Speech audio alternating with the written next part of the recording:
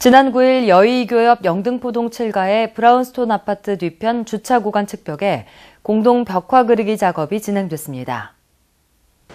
주식회사 삼성S원이 후원하고 서울시 사회복지협의회와 영등포구 사회복지협의회가 주관한 이번 행사에는 삼성S원 본사 그룹장 및 관계자와 주민 등 80여 명이 참석해 높이 2m에서 4m, 면적 250제곱미터, 길이 80m 규모의 벽화 그리기 작업을 함께 했습니다.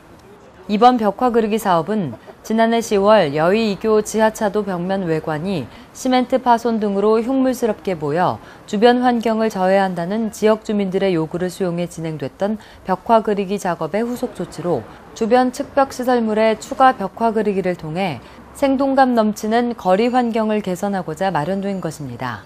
이에 대해 군은 해당 구역에 밝고 활기찬 분위기가 조성되고 범죄 예방에도 효과가 있을 것으로 기대하고 있습니다.